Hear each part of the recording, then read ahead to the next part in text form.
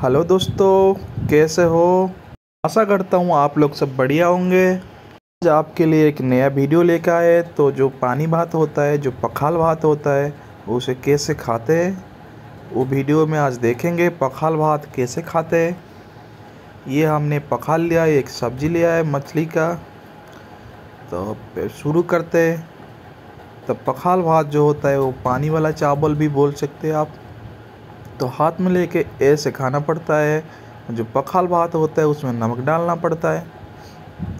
आपको हमारा वीडियो अच्छा लगे तो हमारा चैनल को प्लीज़ प्लीज़ सब्सक्राइब कर देना, वीडियो को लाइक, शेयर कर देना। सभी को जय जगन्नाथ।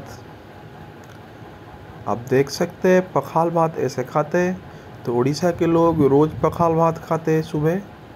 तो ये वीडियो आपके लिए इसीलिए लेके आए कि पखाल भात कैसे खाते हैं, सबको पता होना चाहिए।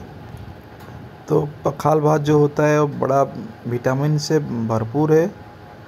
और जय जगन्नाथ हमारे यहाँ बोलते जैसे हिंदी के लोग राम राम बोलते जय श्री कृष्णा बोलते तो हमारे उड़ीसा के लोग तो किसी से मिलते तो जय जगन्नाथ बोलते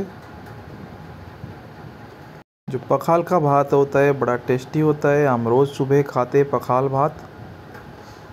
देख सकते हैं, ये फ़िश की करी के साथ हम पखाल भात खा रहे और इसे आप पंता भात भी बोल सकते हैं हिंदी में, और पानी वाला चावल भी बोल सकते हैं।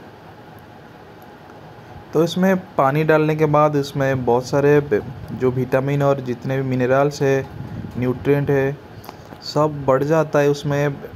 तो पखाल भात बहुत ही बढ़िया है सेहत के लिए।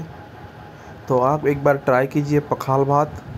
कैसे लगा तो कमेंट करके बताना पखाल भात। तो हमारा वीडियो अच्छे लगे तो ज़रूर हमारा चैनल को आप सब्सक्राइब कर देना।